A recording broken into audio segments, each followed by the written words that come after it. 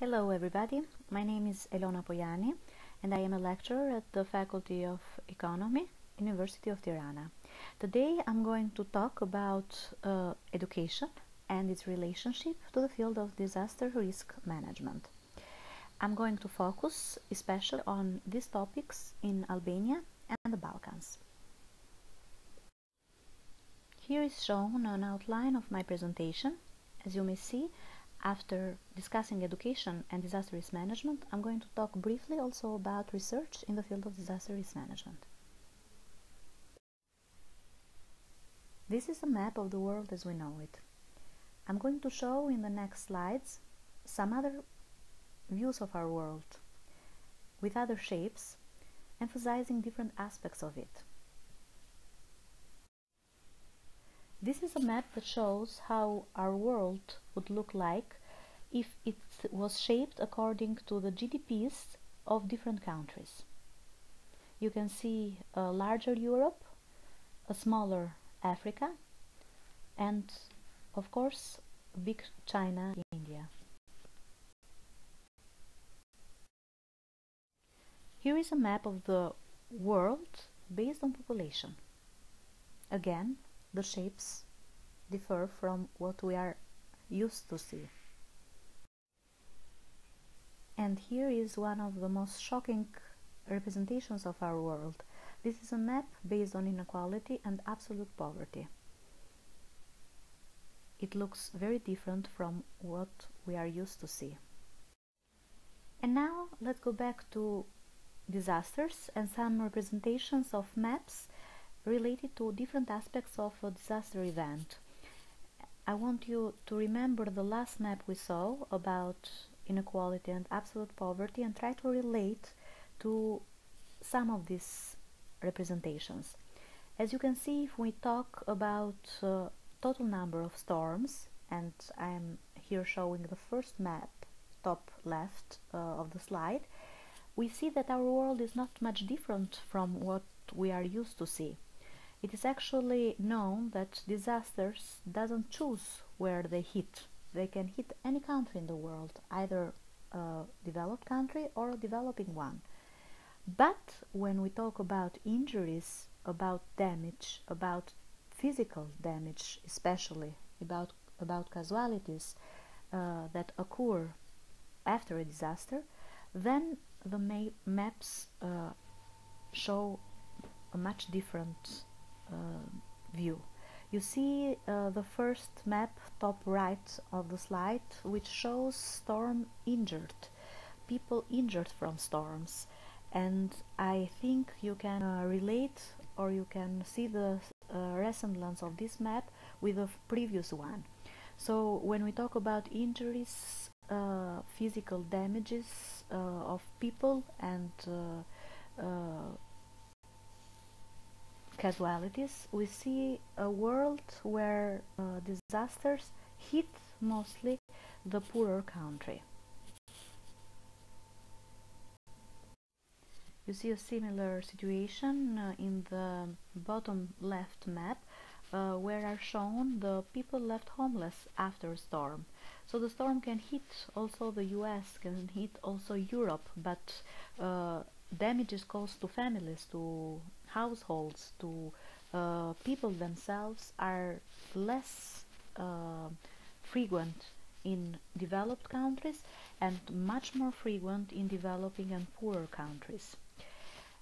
And finally, the bottom right map show the absolute value of damages, and this is uh, very uh, obvious that, of course, damages in absolute terms uh, in monetary terms are much higher in developed countries because in these countries uh, the costs uh, are much higher. So uh, the cost of reconstruction of buildings damaged from will of course be also higher compared to uh, developing countries. And quite shocking these two maps the first showing earthquake risk which is quite high in many countries of the world, either developed or developing ones. And on the right, you see earthquake deaths, and you see how much inequality is And now let's see how, how all that we talked about relates to education. Uh, in fact, when a disaster hits a country, it hits very much the education system and it hits it on two sides, both on the supply side and also on the demand side.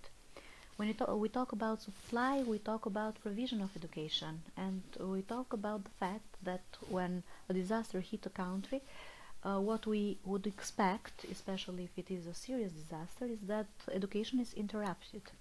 Then, uh, so the interruption is the first uh, supply side challenge that uh, arises uh, when a disaster hit a country. But then uh, we have to talk about security.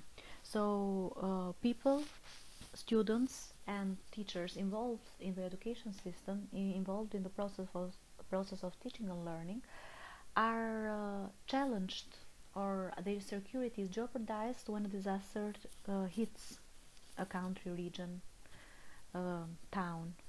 Uh, so in that case, uh, this is another uh, challenge that has to be bared by the education system. And finally, enrollment, which is also related to the two previous topics I just mentioned, uh, when a disaster hit a country, uh, it might cause a direct effect to the rate of enrollment of students in the education system. Why? Because after an event, it might be the case that many students are forced to go out of school, either because the school is damaged, so this is related to uh, the interruption that I talked before, but also because they might be requested at home uh, to help their families cope with the post-disaster challenges with the post-disaster reconstruction phase. And uh, in that case, they wa might want to go to school, and the school might have been uh, put in um, in functioning again, but they cannot enroll, they cannot attend anymore. Uh, is exactly because they need to help their families. These challenges are especially frequent in poorer countries so in those countries where inequality levels are higher and where disaster consequences are much more harder to bear, uh, in such countries the challenges of the education system are also much more serious and the way to cope uh, with them becomes extremely difficult. Now let's address the other side, the demand side challenges. The fact that disaster hit countries, the fact that the disasters have consequences, uh, bring to the question the topic of education. So how our, our education responds to such challenges that the country faces. Uh, so in this situation, in such circumstances, is the education system that should respond by improving, revising, offering more uh, education programs which address such challenges that are faced by the population.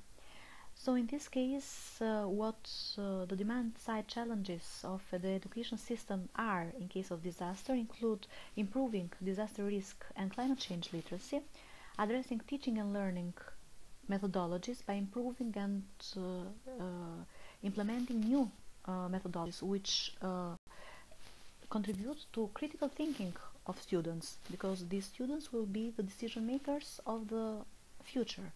And as such they need to be offered an education that enables them to solve problems in the future. And also the universities themselves the administration uh, have to think about how to make university services more sustainable and in many cases more greener.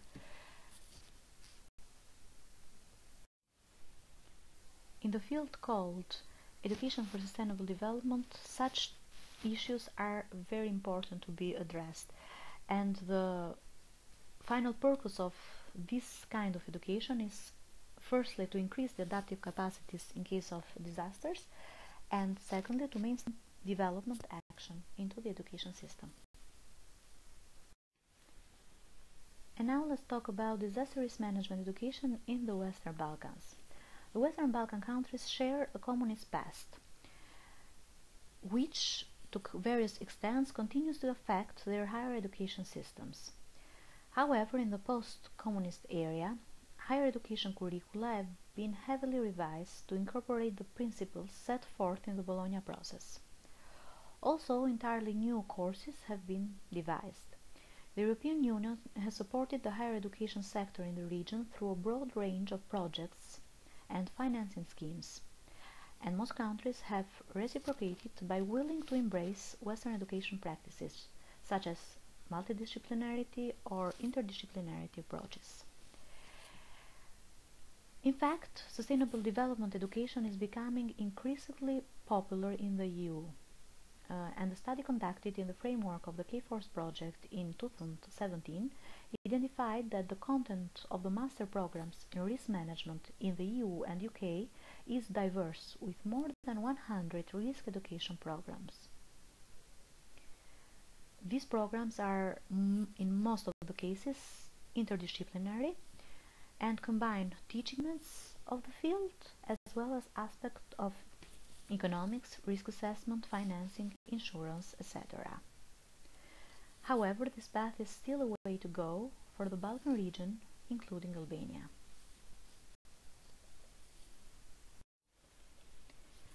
With the exception of Greece, few countries in the Western Balkans have operationalized the concept of interdisciplinarity in the higher education.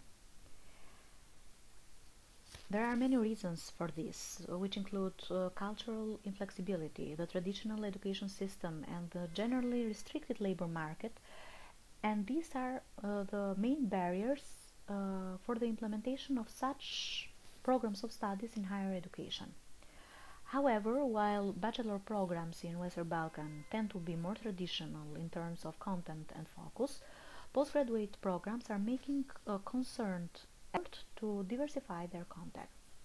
The creation of master programs that straddle across faculties is the evidence of that. Here is shown a summary of programs of studies in the field of disaster risk management offered in the countries of the Western Balkan region. And now I will focus on Albania and how all the topics uh, are related to this country. Albania has a high exposure to natural disasters, either disasters from natural causes, anthropogenic causes, or other kinds uh, of uh, disasters. In fact, Albania ranks 21st in the world in terms of vulnerability to landslides, uh, 43rd in terms of earthquake and 58th in terms of drought risk. This table shows different kind of disaster that may hit the country and their uh, related frequency or probability of occurrence. And in this table, some of the most devastating disasters in terms of casualties that have hit Albania are summarized. And going back to a very recent period, on November 26 of 2019, a devastating earthquake hit Albania, uh, very close to the capital, Tirana. It left extensive damages in 11 municipalities. Here are some figures of the damages, also in terms, in monetary terms. It is considered the strongest earthquake in the last 30 years. The earthquake left a lot of consequences to the education sector. A total of 321 education institutions, representing 24% of all educational establishments, were hit or damaged because of the earthquake, most of which were located in Tirana and Durrës. Uh, the losses in monetary terms were valued at 8.76 million euros and the recovery cost is uh, estimated to be about 95 million euros or uh, nearly 9% of the total recovery cost. It was emphasized that uh, Albania was not prepared for such an event. This is an extract of the report of the IFRC done after uh, the event, which um, states that the existing governmental and contingency plans in Albania were activated right after the earthquake, but they were proven to be incomprehensive and not appropriately implementable. There is a need to update the contingency plan as part of the institutional preparedness and review and scale up community-based DRR activities. This was the statement from the report, which uh, states that activities, methodologies, uh, and uh, measures taken at community and household level were insufficient and and not adequate uh, in that event. Therefore, the challenges and needs that were emphasized reflect the need for professionals trained in the field of disaster risk management, a need for awareness raising, need for sustainable building design, and need for international assistance. And now let's focus on demand side of education and uh, to try to give an answer on how the education system have responded to such challenges that the country faces. In fact, such response has been scarce because until 2018 there were no university programs focused on disaster risk management in Albania. There were some programs related to the field of environmental engineering and earthquake engineering offered by the Polytechnic uh, University, which partly uh, have uh, a relationship to the field of disaster uh, risk management.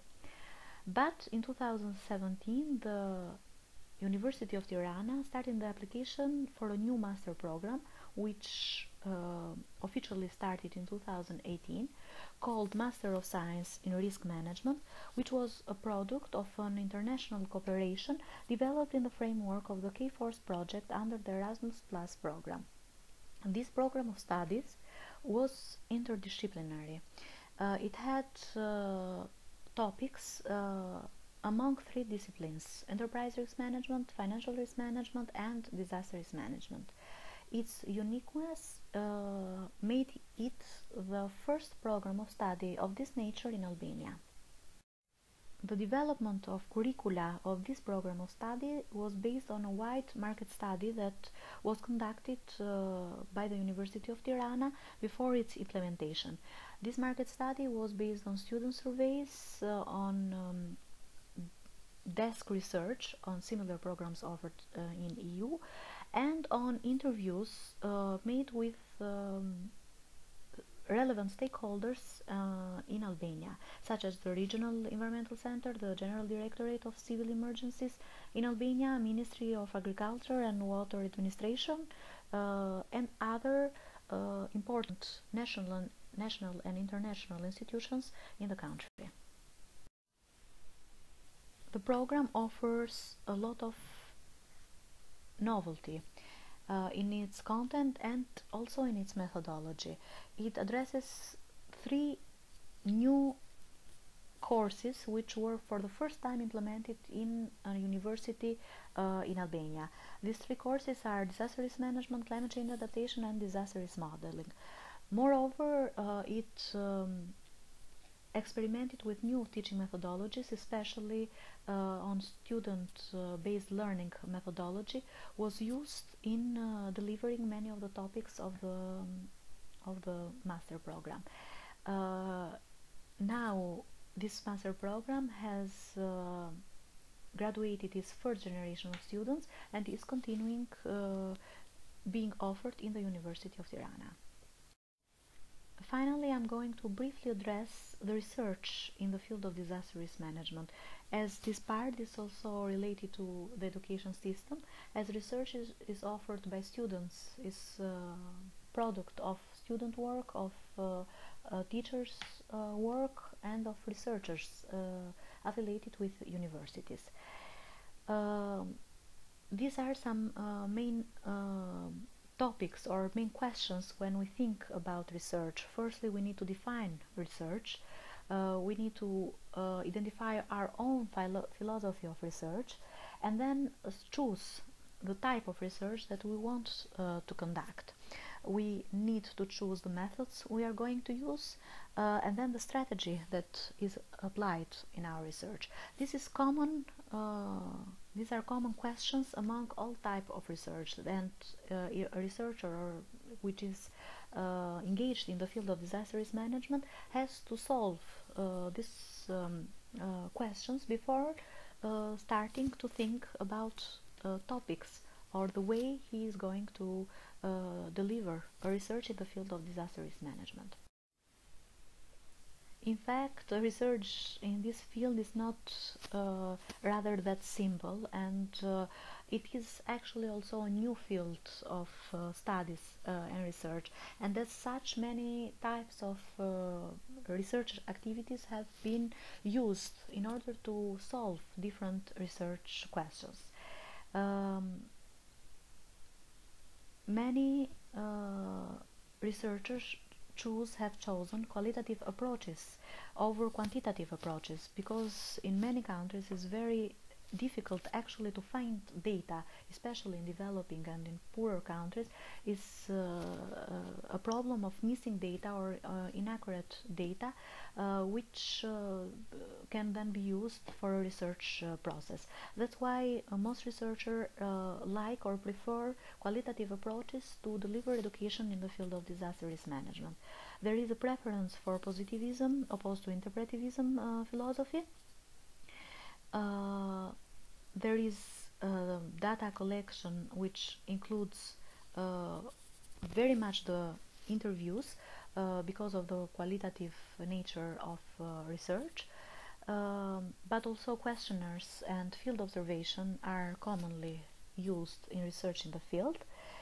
Um, case study research is particularly common uh, in the field of disaster risk management because uh, it's easier or it's very valuable to study the effects and consequences of a study area of a region of a, a town of a village that has been affected uh, has been hit by a disaster and uh, to study the consequences in such small scale uh, areas.